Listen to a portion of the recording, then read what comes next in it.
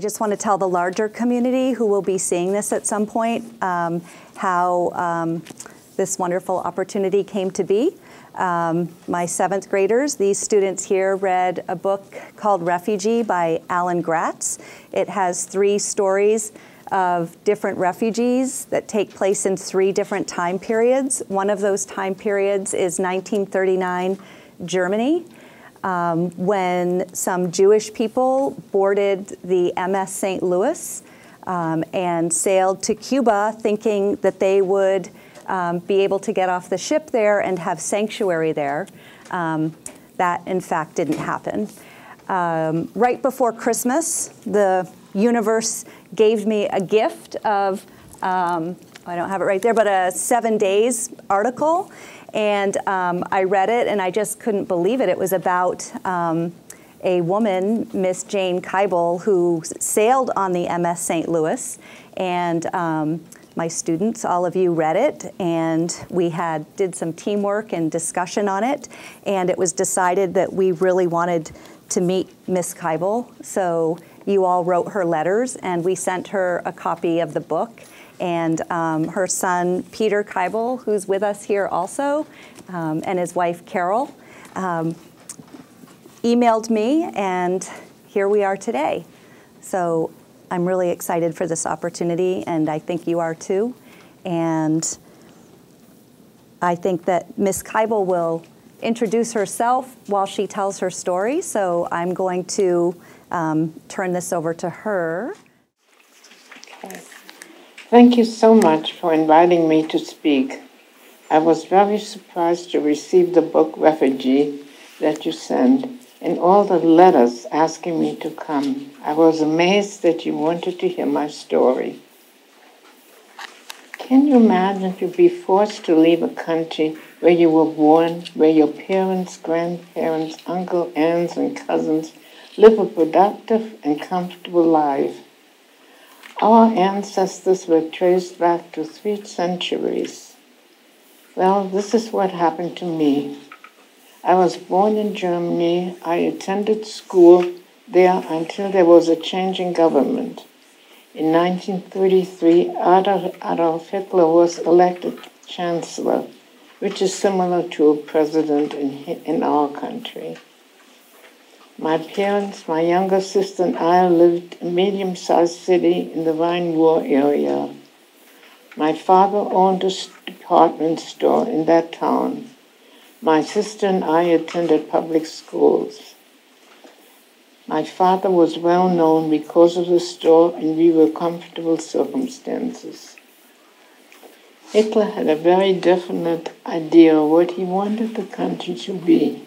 He disliked Jews who in his pardon me, who in this opinion did not look and seem like Germans. Of course, that was not true, because like my father, many other Jews fought for Germany in World War I. In 1933, when Hitler came to power, my father's store was closed to make the population aware that the owner was Jewish and to discourage people from doing business with the Jewish establishment. Some days later, business resumed at a normal rate, but our lives changed. It seemed that every year another law was passed that made our lives almost unbearable. We could not attend school anymore or use public pools. Park benches were marked where we could sit. He burned books by Jewish authors and he destroyed Jewish businesses. On November 9, 1938, Kristallnacht started. The synagogues, which is a Jewish house of worship, were destroyed. Many Jewish men were sent to concentration camps. Our parents were well known and liked. My father was tipped off by an official and was therefore able to leave town to avoid internment. The Gestapo did come to our house to look for him, but we were not molested and our house was not ransacked. We did not know where he went. Occasionally he called, but those were very tense days for us. His safety was always on our minds. After his return, his return, he was seriously looking to leave the country. We had received quota numbers from the U.S. Embassy, but we were also aware that it was a very high number and there was no way we could leave before a year or two. So my father searched for a country that we could go to while waiting for our quota number. Of course, the store was closed and had to be sold to Germans for very minimal amounts. My father preferred to leave Europe. He did not think it was safe to stay there. America elect only a designated number of people to immigrate into their country. My father purchased visas, $250 per person, which in today's dollars is $4,362 for Cuba and booked passage on the ocean liner SS St. Louis that belonged to a German shipping company. Our belongings were packed and shipped to, to my uncles in the United States. We only took clothing for summer on board the ship. Before we left, my sister and I went to see our grandmother, who was blind and could not come with us. Much later, she was deported to Theresienstadt concentration camp. She was then in her late 80s. We were informed that she died of natural causes. Can you imagine for, an, for someone that old to travel for three weeks in a cattle car? It is still very hard for me to think about that and to accept it. May 13, 1939 was a Saturday and the ship sailed in the afternoon. We stood at the railing of the ship and waved goodbye to relatives with a heavy heart. The possibility certainly existed that we were never going to see them hmm. again. One of the things I remember was that upon boarding, the band was playing Strauss waltzes. In the captain's daily log, he noted that the mood of the passengers was very solemn, but he was assured that good food and sea air for two weeks will lift the pain that was emanating from the passengers. We settled into our new routine of shipboard life, and day by day the moods lifted. My sister and I made friends with other young people on board.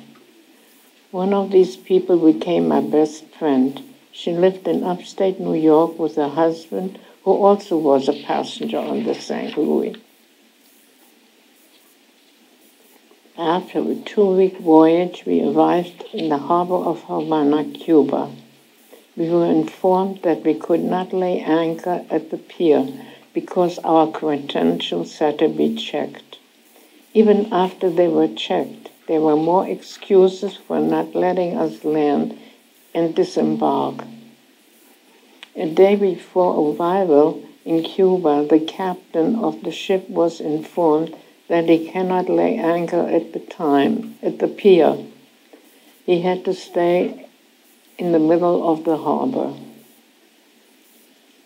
We stayed in the harbor for one week. We did not want to return to Germany Nothing was left there. No housing, no money. All the saving people had accumulated had to be left for the German government. So we would all have to be taken to concentration camps, and an impossible thought. We had people on board who were released from con- concentration camps under one condition never return to Germany. These men considered mutiny or committing suicide. The captain was very diligent and did not want this to happen. During that time, one man slashed his wrist and jumped overboard. He was saved and taken to a hospital in Havana. His wife was not allowed to visit him, but after he recuperated, he was returned to his wife. Small boats came to the side of the St. Louis with relatives who lived in Cuba to shout encouragement to us. Meanwhile, organizations, Jewish and government, work to, to see that can be done to have us disembark.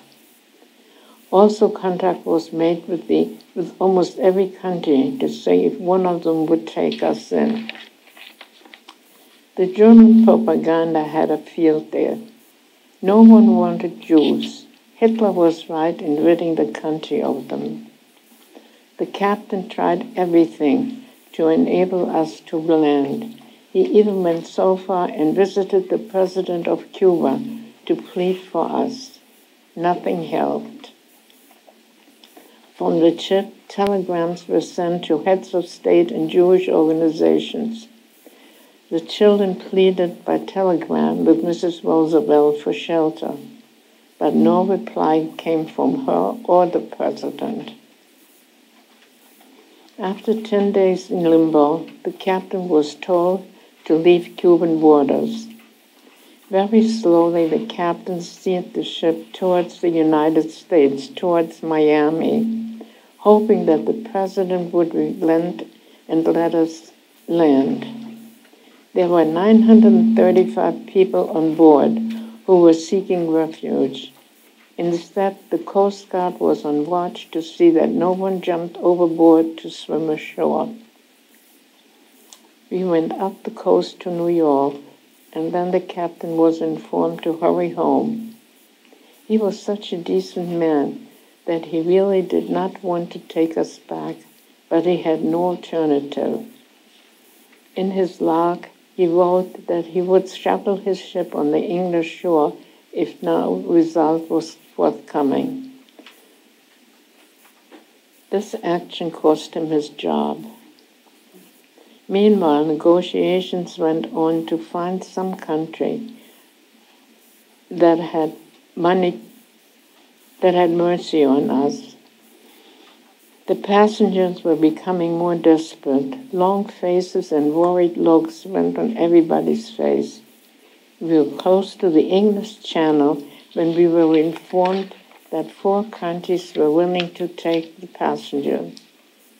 Morris Troper of the European Joint Distribution Committee was responsible for securing that haven the grateful passengers cabled him that their gratitude was as, was as immense as the, as the ocean on which they had been traveling.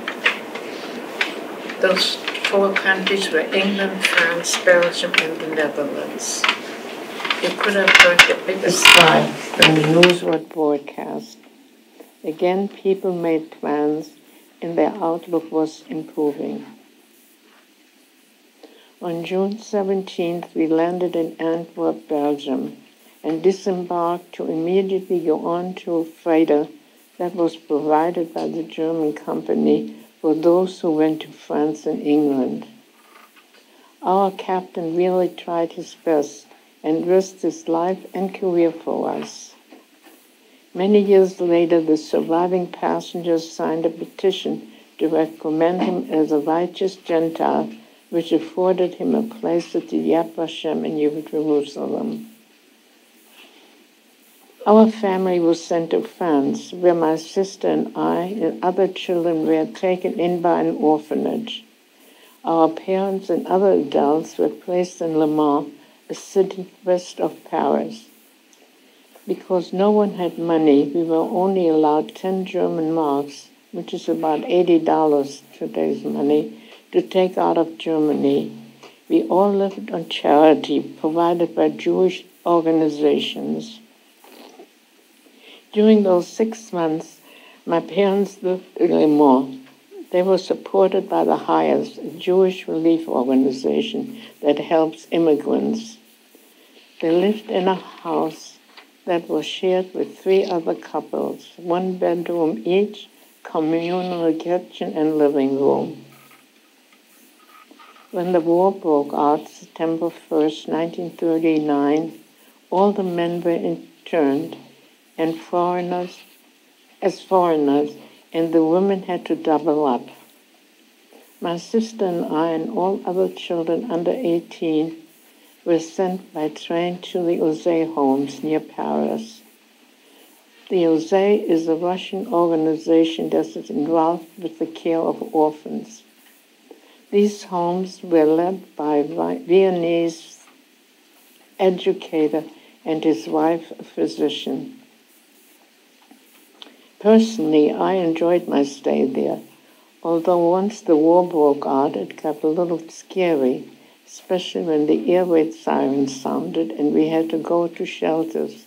The older children had to take care of the young ones.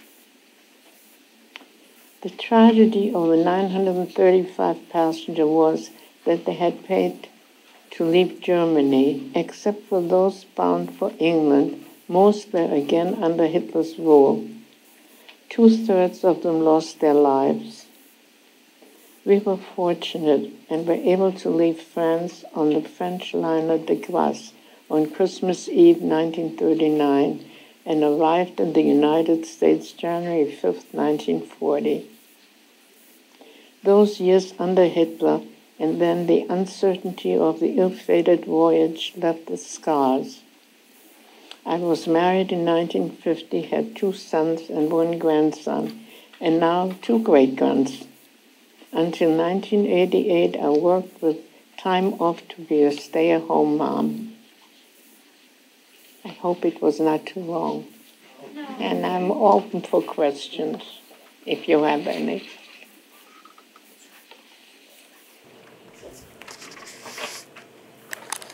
I think um, Ms. Keibel, I was worried about the volume of, mm-hmm. of the speaker, and I, I missed a part. But um, did, did your parents come to the United States with you? Yes. Yes. We were always, my father insisted on staying a unit. Okay. We were always together, except that time we spent in France when they had to live someplace else. Right. There's a question. I might have missed it, but how old You have to were speak you? up. I don't, How old were you? I was 15, Fifteen. but I wasn't a 15-year-old like today's 15-year-olds. Colby, Um, What was your sister's name? Alice, Um, where did you go when you got off the ship? where did I go when? When you got off the ship? Uh, we went to France. Yeah, we were assigned to go there. No. hmm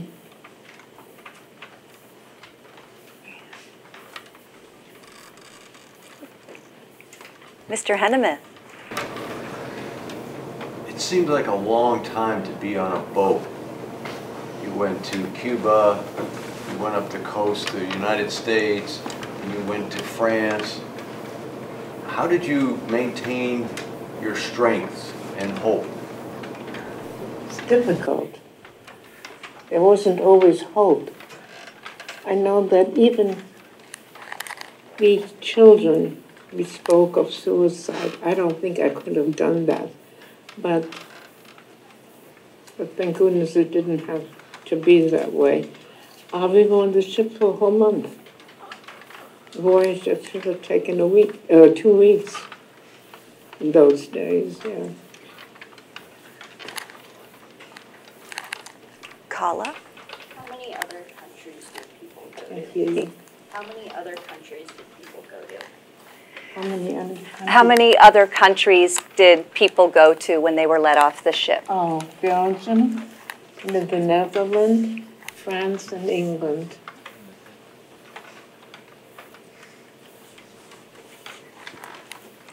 How did you and your family get reunited? How did you and your family get reunited? To the United States? No, reunited. In, in France, do you mean? Yeah. So how did, how did you and your family get reunited when you were in the orphanage um, in No, well, France? Then we didn't live together, of course. the time we were in France, we did not live together. Yeah. But, but did you and your parents always know where each other Yes. Was? Yes, they did visit us. We didn't visit them, but they visit us. Okay. It was like camp life.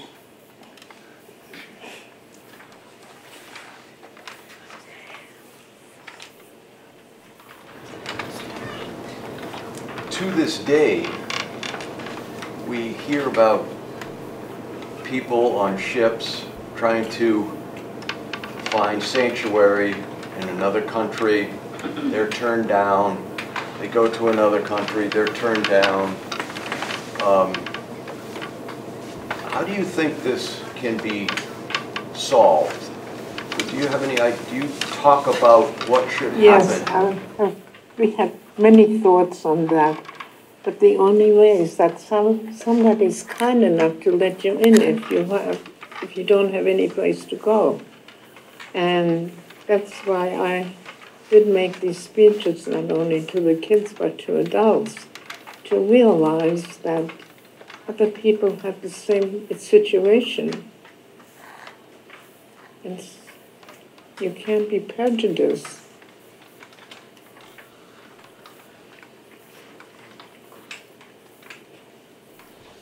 Uh, Like a, a quick two-part question. You, you had said that your father fought for Germany in World War One. Is that right? Or somebody in your family had fought for Germany in World War One? Your, your father fought for Germany in World War One? Yes, And I was, oh, I was just wondering if you could speak to like how long a history your family had as Germans building up the German nation to then be turned into foreigners. I wondered when you when you left with eighty dollars equivalent, how much did your family have that was taken at that point? well, I don't know that. I was a child. My parents didn't tell me what they had. Uh, but they lived a comfortable life, and he was able to pay all this. I mean, he, it, the money was supposed to be paid in dollars. So my uncles here did this, but my father gave them the money. We didn't enjoy Germany, you didn't have dollars.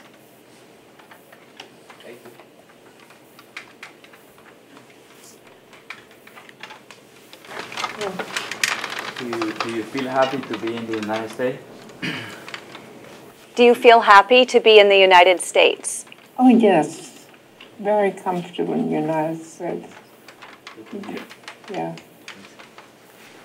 You're from the United States? No, I'm from Nicaragua. From where? Nicaragua, Nicaragua. Central Oh. America. Oh. Okay, are you happy here? Yeah, so far.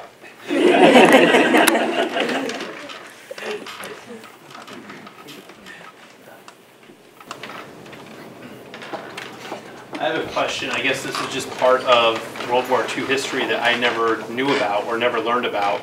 Um, so, you were trying to get to the United States originally, if I understood Oops, correctly. could you come up a little closer? Mm-hmm. Thank you. So I just want to make sure I understand part of the history here. So you were trying to get to the United States originally from Germany, Yes, correct? yes. And you were you were turned away when you originally got to the United States because your number to come in had not come up yet. Is that Right. correct? Yes, So yes. I never I never knew that. I never knew that Uh, we turned people Well, I away. don't think that happens now. In those days, you know, in the 30s and 40s, they had this quota system. So I that's guess when, so that's when then- you landed in France instead because you were Well, turned away but from the United we got the quota number in Germany when we were in Germany. And with this quota number, we were in France. And in France, they didn't have that many people coming to America. That's why we had, it was faster in France. Okay. Did that, Did- did that impact your feelings about eventually coming to the United States at the time, after having been turned away once? From the United, States, yeah, but, um, well, we still want to come to the United States. We had family here that had come much earlier. And, I mean, it wasn't personal thing that they returned back. It was the whole ship, mm-hmm. 935 people. But it wasn't only America, it was Canada, which is a big country, could afford to take 935 passengers, and many other countries.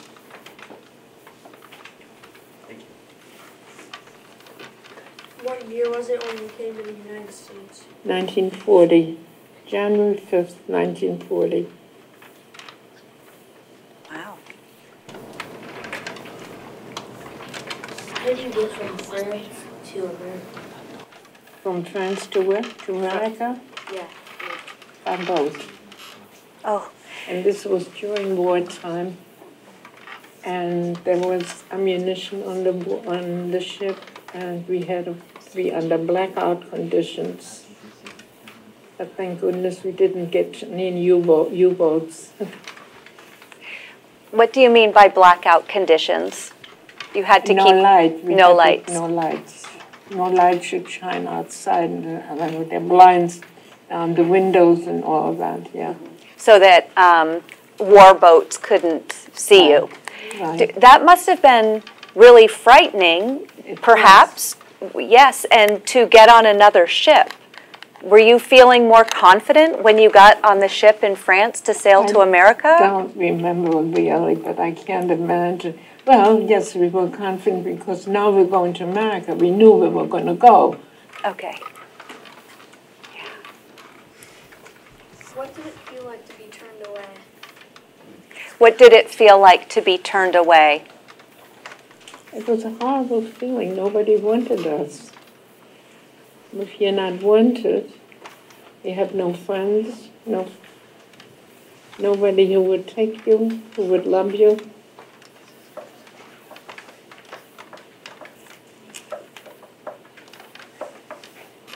Megan. Like, uh, you made a friend on the boat, right? Yes. Uh, what was the friend's name and what are some memories you have with the friend? Her name was Ruth, and we just became friends and we exchanged.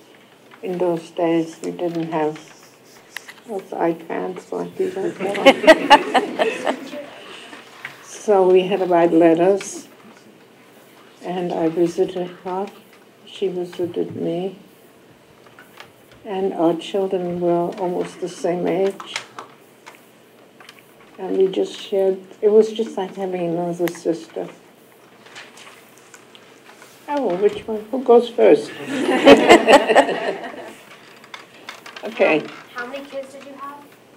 how many children I have? I have one sister, had one sister, she's not alive anymore. Okay, next. Uh, where's your friend that was on the ship? Did you say she? She lives in New, uh, Ithaca, New York. How old was your friend? She was a year younger than I. Annika. Um, so when, like, what country did your friend go to before she went to the US? Like, did she go to She was in France also, yes. Yes, we spent everything, and we left France earlier than she did, but when she came to New York, we picked up again. Charlie. Do you see your friend There's a little boy back there. Yes. Oh, Charlie first. Could you stand up and ask, and then we'll. Uh, do you see your friend now? My friend's not alive anymore. Sorry.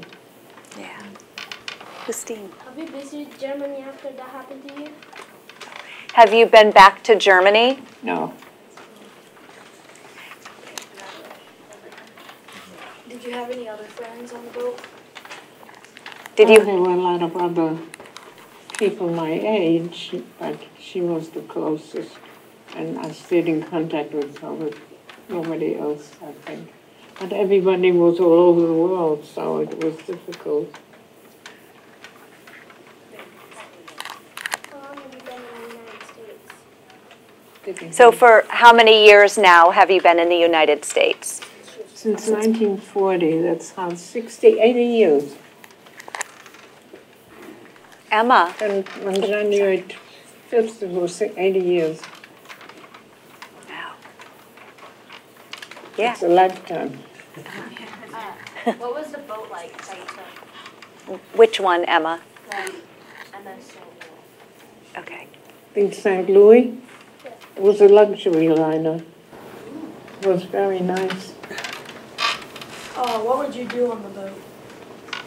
Well, you have games, shuffleboard was the main thing, and um, races.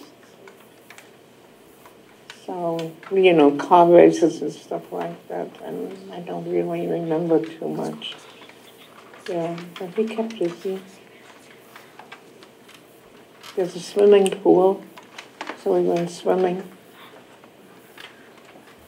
I said it was a luxury liner. How did you like the book? How did you like the book Refugee? It was very interesting, yes. But the boy that was on the St. Louis, uh, of course, it was a novel, so not everything was the way it was on the St. Louis. It was embellished. It's just like the movie, The Voyage of the Damned. It was also a little Hollywood.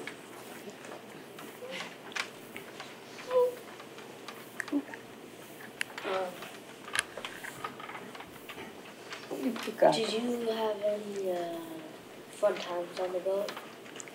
Did you have any fun times on the boat? Anyone? Any fun times on the ship? Fun time? Fun? Fun. Was the boat, was there, were there fun things on the boat? I don't remember fun things. We made our own fun. Yeah. Right. Would you ever want to go back to Germany? No.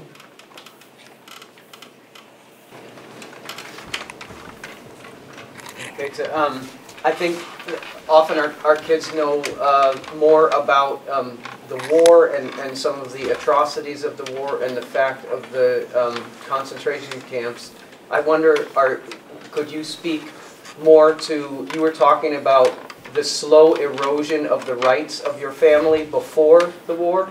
Uh, like when, um, you said each next year there would be more laws making it hard for your father to do business and making it hard to just be Jewish in Germany. I was wondering if you could say anything about that period of time before the war, when, Before the war. when they were taking away the rights of Jewish people slowly. Yeah, well, but before the 30th, I was 10 years old when Hitler came to power.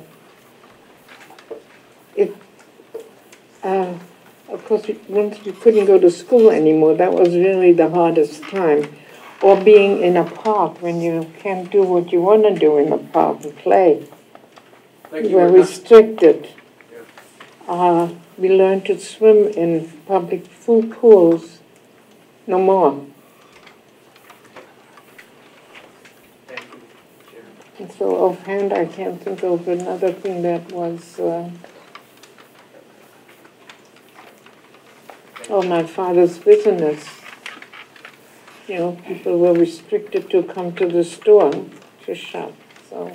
So pe- people were forbidden from spending money at your father's shop even, you're saying, as well, in that drama. Thank, thank you, thank you.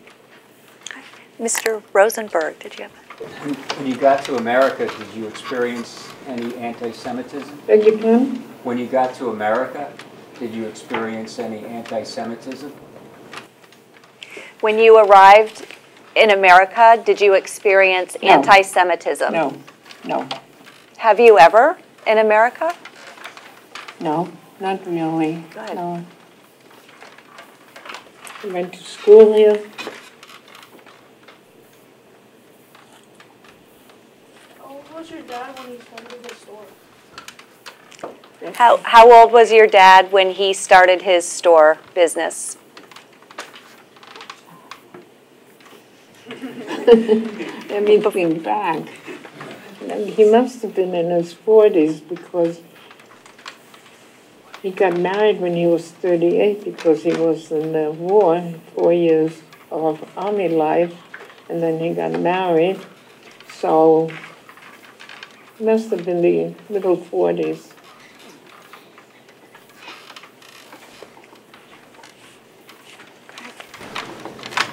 So, your, the ship went to Cuba first. Yes. Why did, was it too dangerous to come through the waters to America first? Or was Cuba more accepting of the ship? Why did you go to Cuba first before the United States? Because United States, we couldn't enter the United States because our visa, our quota number wasn't up. So the people, there are a lot of people, German Jews, who left, they went to England or the other countries in Europe. And my father didn't want to go to Europe anymore. So what was open was China or Cuba. I would have liked to go to China on a long trip on a boat. But he preferred Cuba, and I was on a long trip on a boat too, unfortunately. That's very interesting. But this was just a stayover for us, Cuba. We were waiting in Cuba for the number to come up so we can go to the United States. Um, did you get ever like did you ever get sick of the ship at some points? Yes, the ship coming to America was the end of December and January. So the ocean wasn't as smooth as it is in May.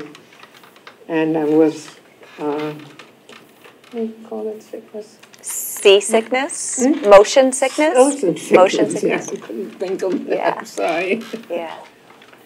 Did you get, did you get tired of being on the ship? You know, it, it's, You mean on the St. Louis or yeah, on the St. Louis. I mean, it seems like at least you were safe on the ship, but you were on there for an awful long time, and your, your emotions went up when you were hopeful that a country would let you in, Right. and then it must have been devastating when they said no. Um, Yes, it was, absolutely. But you were eager to get off the ship. You were, Oh, yes. were you tired of being on the ship? Yes, Yeah. yes. But, you know, as children, you find fun with yourself, with your, with your people your age. So I don't know, I'm sure the older people had a lot of concerns. Mhm. Of course, we never asked. In those days, you didn't ask your parents. You accepted. Right, right. There wasn't a conversation about it. No. Right. No, That's pretty different not. today. It is, yes. Yes. Much different. Yeah. Emma, Um, what were your first thoughts when they said you might go back to Germany? what were your first thoughts when you thought that you might have to go back to Germany? It was devastating because the only thing open was concentration camps. And who wanted to go there? That's why there was a lot of talk about suicide. Never happened. We had a wonderful captain who prevented all this to keep our hopes up. Were you ever able to talk to the captain? I don't remember, to tell you the truth. But I uh, suppose he talked to the adults, but you know, being we were children.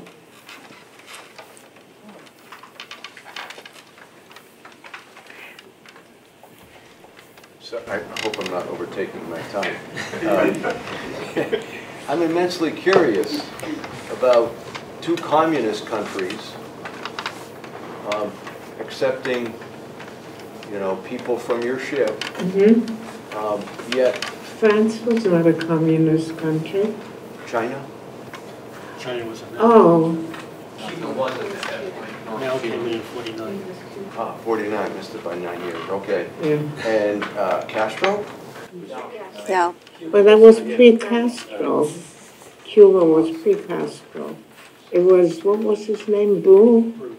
Boo, the president. So, so that answered my question.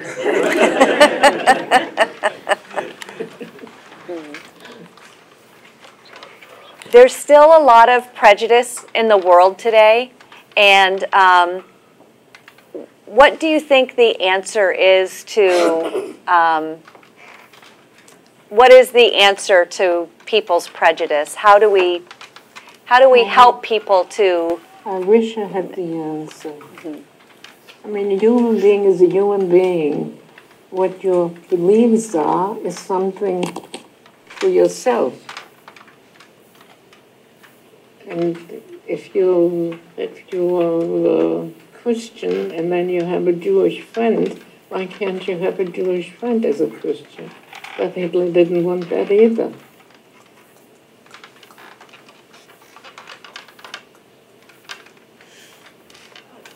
You didn't understand that. I understood it. you got that? Okay. I don't know, was I right in explaining it that way? You did well. We got that. Yeah.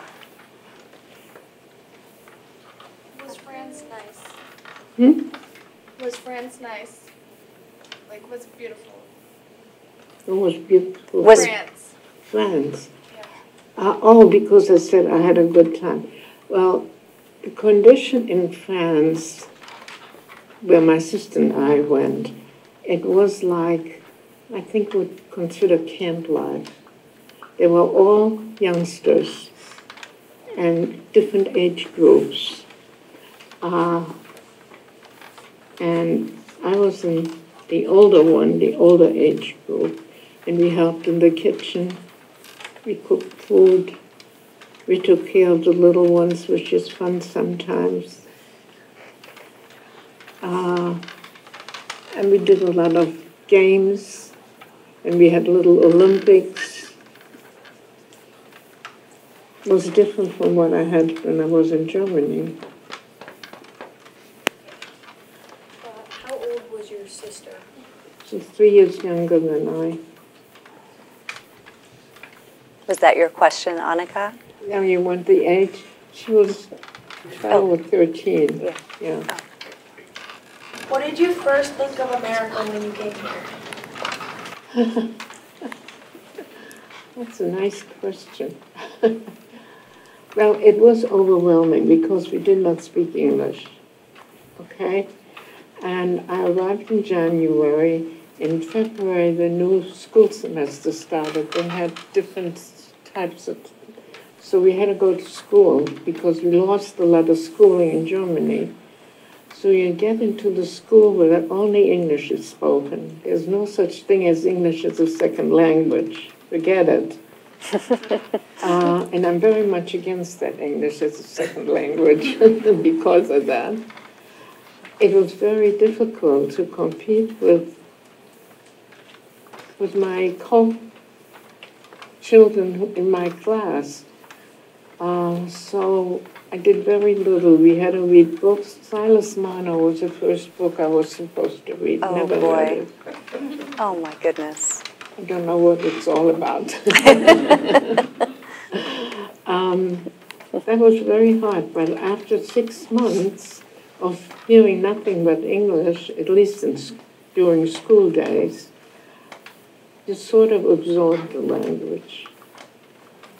And then uh, that first summer, I took care of a little boy uh, in, well, it doesn't matter where because you're not from New York, at the beach. And of course, with him, I learned English also. I mean, he didn't speak very much yet, he was tiny, so. And by the September semester, I could compete with the others. My sister listened to the radio, to all the uh, soap operas.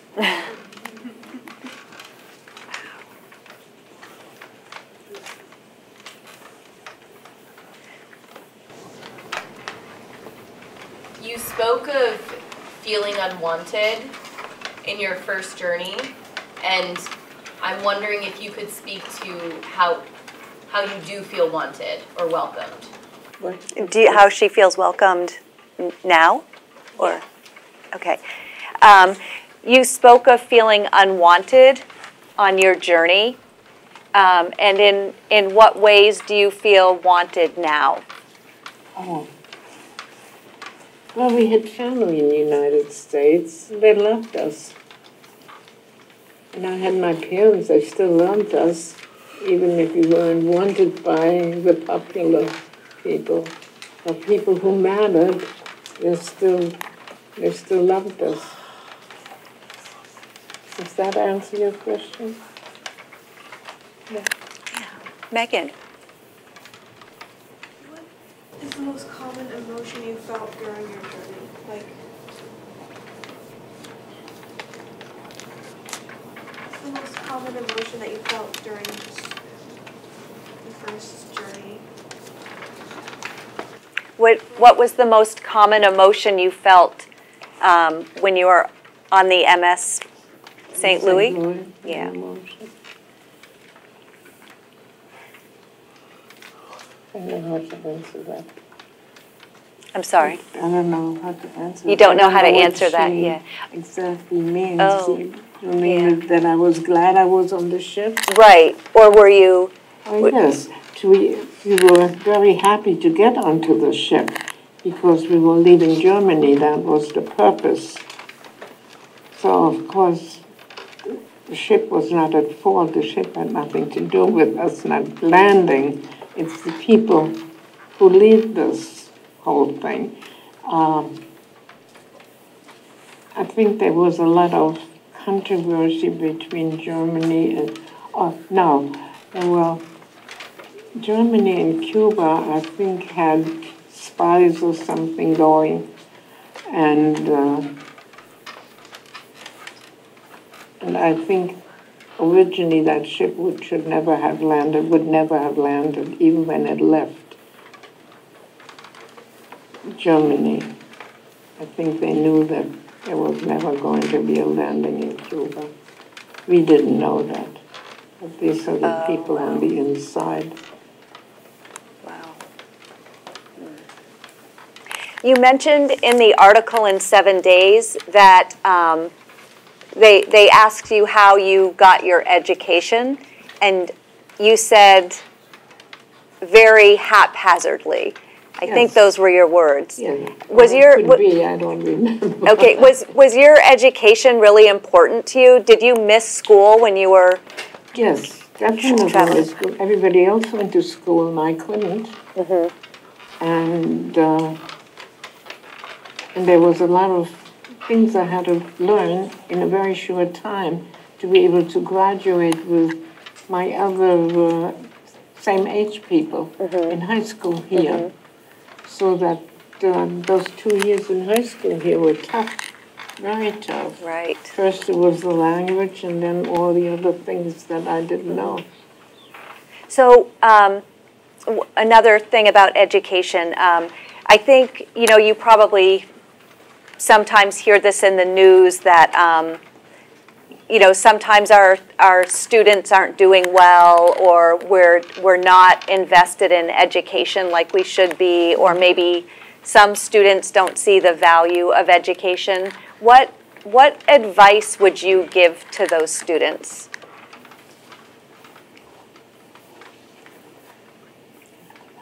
You don't know? You were, you missed school though, when you couldn't go. Yes, You really wanted to be there yeah. because, Well, I think you need a certain amount of education. You read certain books or, you know, and then I was interested in geography at one point in time. So I missed that part too. Mm-hmm. Geography lessons, so yep. education is important. I'm sorry I never went to college. Mm-hmm. But there was just no money for that. Did you have any friends that like, like German friends that like turned against you? No, I don't really remem- remember that. Most of my friends were Jewish. Uh, what did it feel like when you got separated from your parents?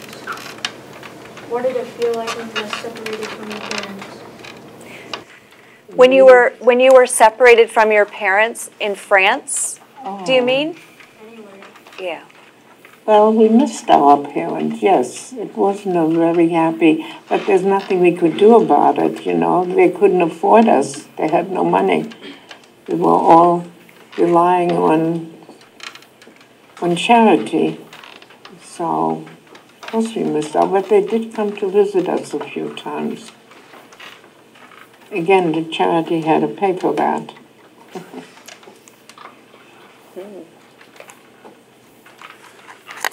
Any, any final questions? Does anybody have, yes, Mr. Perigo? Um, So we're very happy to have you living in Vermont now. I wonder if you could tell us the story of how you came to Vermont. Um, well, I was getting on in age, and I have another son, and he moved to South Carolina, and Peter was my other son was here in Vermont. So I was in New York. I had friends and everything, and I was used to it, but the friends got less and less. So we discussed what should happen. So of course Peter wanted me to come here. And, uh, and I preferred that to South Carolina. That didn't appeal to me too much. I, I thought I put so it was, I don't know, like a week, so I was up here to look around for uh, assisted living places. And I made a decision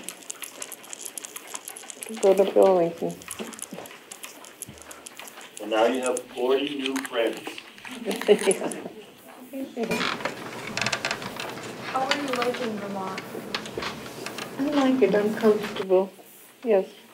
I mean, I've been in Vermont before, I mean, I visited my son here often, he's been here for many years. So I was not completely unfamiliar with them. Mhm. So I like to look at the snow. Yes, What school did you go, I can't hear you, you have to speak loud. What school did you come to when you came to? What, what? What school did you What school did you come to hmm? What, what school did you go? When? What school did you go to? when you came? Oh, what school? I went to school in New York, in, in Queens, to the Richmond Hill High School. Are you familiar with that?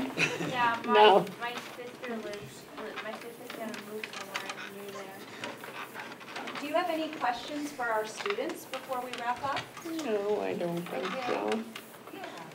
Well, we have, um, one of our students would like to present you with something.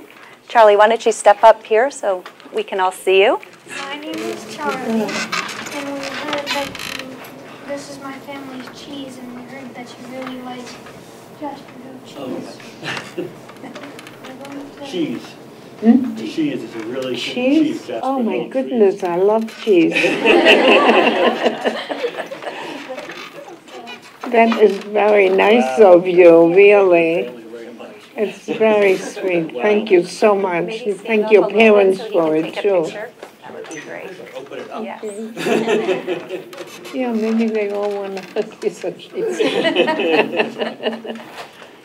You'll have lots of people to share it with. Oh, yes. Yes, Yes, thank you yes, very much. Well, we really appreciate you coming over in a snowstorm to, to visit with It us. was- It was very nice. I had never spoken to young people like you, so I enjoyed that very much. Yeah.